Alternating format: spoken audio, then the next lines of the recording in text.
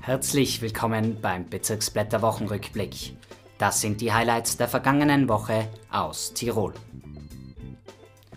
Der Juni symbolisiert den Pride Month. Mit ihm wird auf die Situation der LGBTQ-Community aufmerksam gemacht und auf die immer noch bestehenden Vorurteile und Probleme, mit denen die Betroffenen zu kämpfen haben.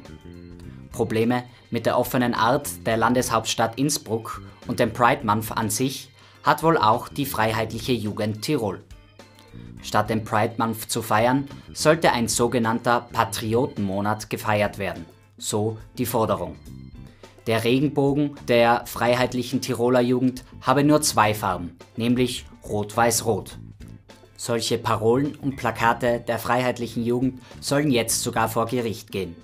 Es würde offen zu Hass aufgestachelt werden, so die grüne Abgeordnete Eva Ernst-Zizic. Wie es in diesem Sachverhalt weitergeht, erfahrt ihr auf meinbezirk.at.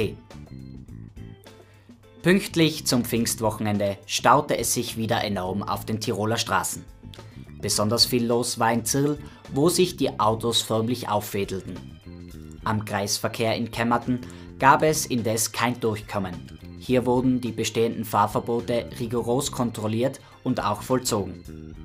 Probleme bereiteten auch jene Autofahrer, die die Abfahrverbote von der Autobahn missachteten und damit Nebenstraßen belasteten. Von der Polizei wurde versucht, den Ausweichverkehr zurück auf die Autobahnen zu leiten.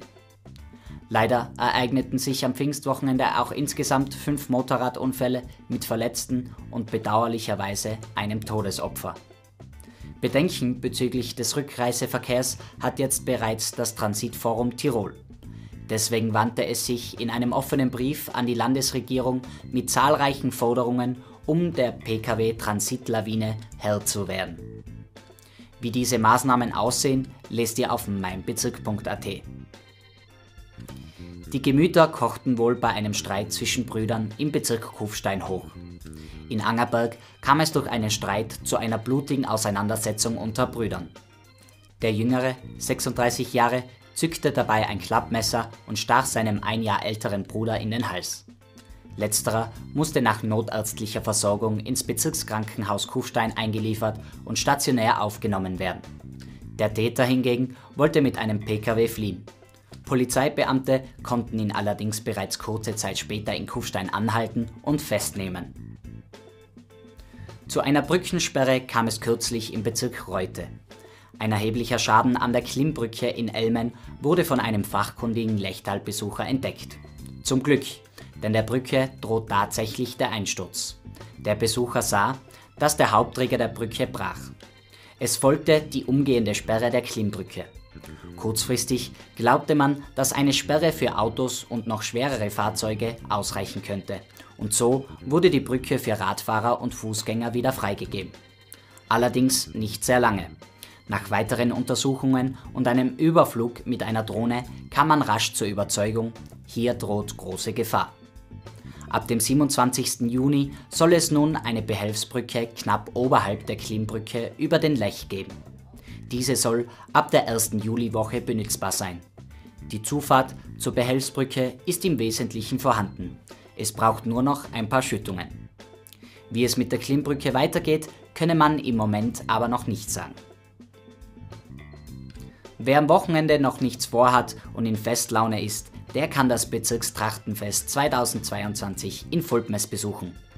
Zusätzlich wird dort auch das 20-Jahre-Jubiläum der Stubaier Freitagsmusik gefeiert. Ein großes Programm wird das ganze Wochenende vom 10. bis 12. Juni geboten.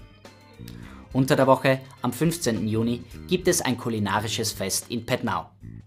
Hier findet das allseits beliebte Backofenfest statt. In der Schmalzgasse wird nach zweijähriger Corona-Pause wieder fleißig Brot gebacken.